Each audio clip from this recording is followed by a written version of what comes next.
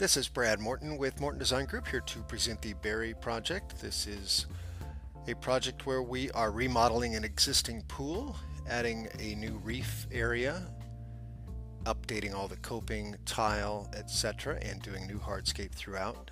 We have a new lounge pavilion slash uh, outdoor kitchen area on the left there that we're adding. We're coming down here through the new reef step uh, entry here where we have a nice sloped beach entry that will go down into the uh, typical shallow end depth of the pool. Over here we have the existing raised spa. We're uh, suggesting that we go with a stair-stepped travertine limestone dam wall. The existing accent planters here would get a nice travertine finish, precast cap, and then we'd put the uh, accent king palms in there. Over here we have a fire table, uh, outdoor dining area with outdoor kitchen and barbecue, refrigerator.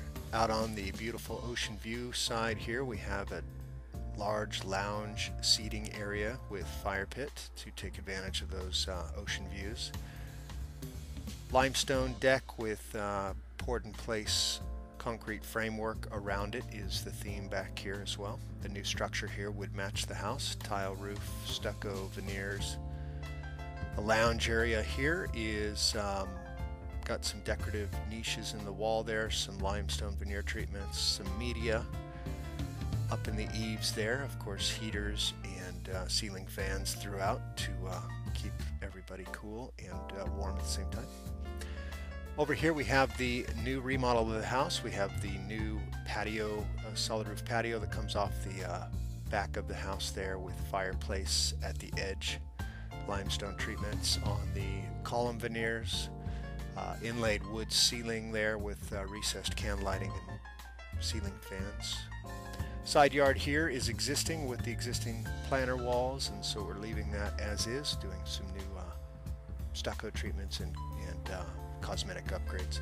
In the front here, the theme is a modular hardscape with uh, some floating concrete and travertine pads broken up by some artificial turf.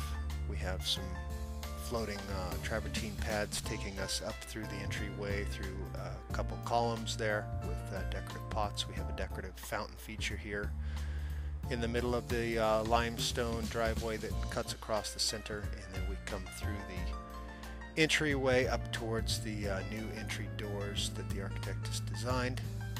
And then we have some uh, floating limestone pads that uh, will break off and go around the raised entry to get you into the side yard there.